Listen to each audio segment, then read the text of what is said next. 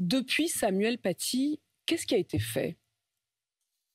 Oh, beaucoup de commémorations, beaucoup de commisération et une absence totale de capacité à prendre en main ce qui est non pas la neutralité, mais la dynamique qu'est la laïcité. En fait, l'État s'est inventé l'idée que la laïcité, c'était neutre. Ça regardait de loin la vie des religions et euh, ça donnait juste un service public à minima. Ça n'a jamais été le cas. C'est une réinvention de laïcs de circonstances qui n'ont jamais compris ce qu'était la loi de 1905, qui ne l'ont pas lue, qui en général la commandent sans jamais l'avoir comprise et qui n'ont rien compris à ce qu'est la nature de la protection du droit de croire, de ne pas croire, de changer de religion et surtout d'un espace public qui permet à chacun de voir ce que la religion lui aurait interdit de regarder et d'en faire dans sa propre conscience, dans sa propre liberté de conscience, le choix d'être convaincu que les éléments qui sont ceux de sa tradition ou de sa famille l'incitent à ne pas évoluer, et tant mieux, à changer, pourquoi pas, à choisir une autre voie. Bref, c'est tout cela la. La différence, c'est la liberté, l'espace de liberté que doit être l'école. Oui, c'est l'espace où on apprend tout et où rien n'est interdit. Euh, et où on apprend autant la science. Et je rappelle que euh, la science arabe a été un élément absolument déterminant dans l'histoire de la science, où on apprend l'art, euh, où on apprend la capacité à... Bref, l'espace privé, c'est l'espace privé. Et la rééducation non seulement des parents, mais des enfants. Le dernier sondage fait récemment montrant qu'entre 65 et 75 des euh, parents ou enfants d'origine euh, musulmane considèrent que la religion est supérieure à tout, euh, qu'il y a des interdits. Vous faites référence, et je vais, je vais le dire très précisément pour que tout le monde sache de quoi il s'agit, un sondage IFOP qui a été publié vendredi, qui a interrogé les musulmans de France.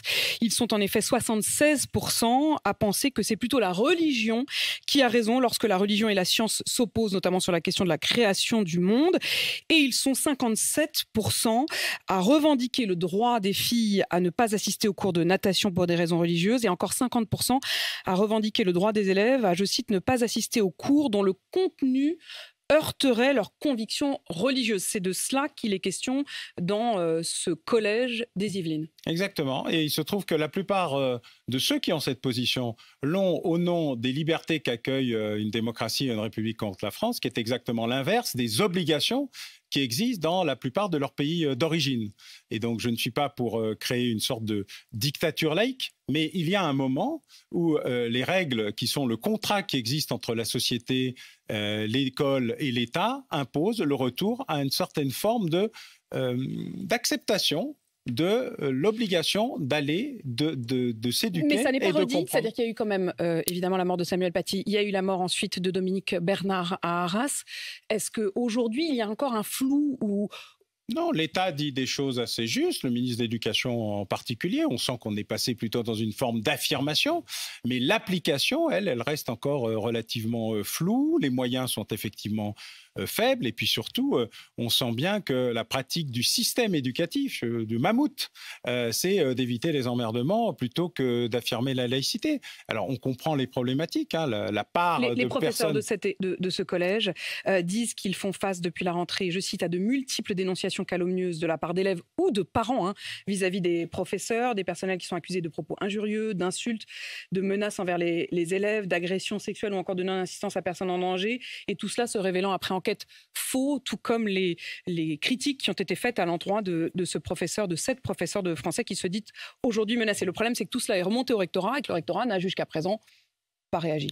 Bah, c'est-à-dire que soit ils réagissent à côté, soit ils réagissent le, pas. Le ministère ce matin promet plus de moyens, hein, mais jusqu'alors, il n'avait pas réagi. Oui, c'est un, problème de l'ensemble de la structure éducation nationale. Elle a décidé, pour des raisons administratives, d'éviter les problèmes plutôt que de les affronter il y a des raisons historiques à cela.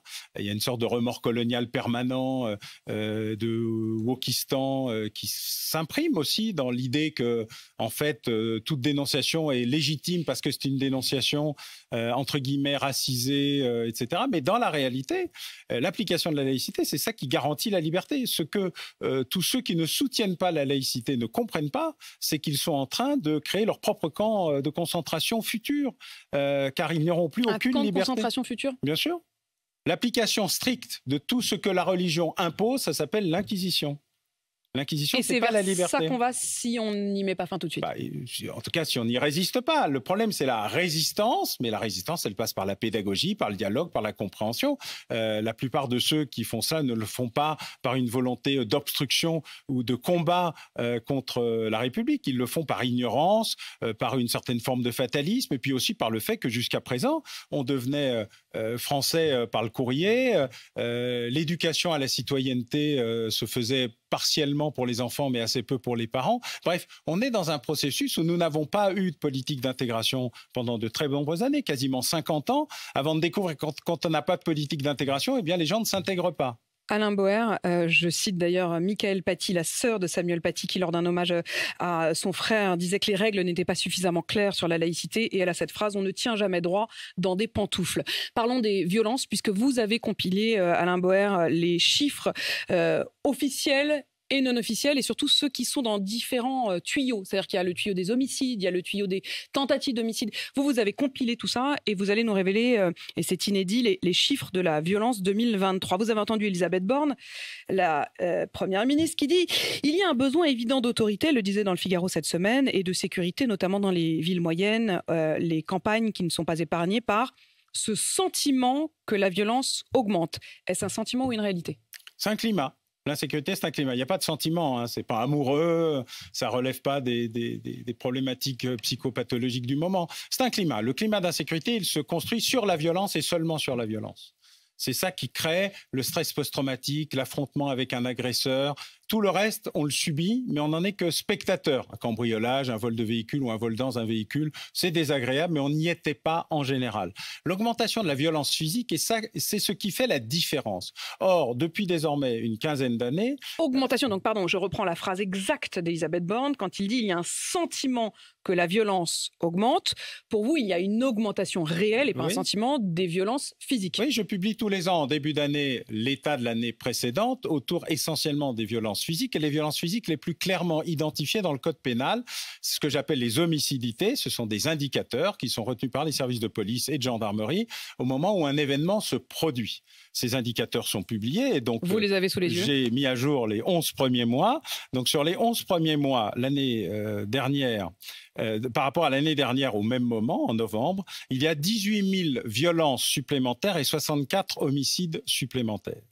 À la fin de cette année, il y aura probablement un des taux les plus élevés euh, de violence, puisqu'on devrait atteindre, avec euh, un peu de malchance, 350 ou 360 000 violences volontaires, c'est-à-dire 20 000 de plus, et probablement un niveau d'homicide qui rejoindrait, euh, qui dépasserait les 900. Les homicidités. Net augmentation par rapport à il y a un an. Environ 10 plus 10% de mmh. violence. À ce moment précis. Donc, si on rajoute les tentatives d'homicide que je ne pourrai dépouiller qu'en janvier prochain, on restera à un niveau supérieur à 4000 faits de violence physique enregistrés.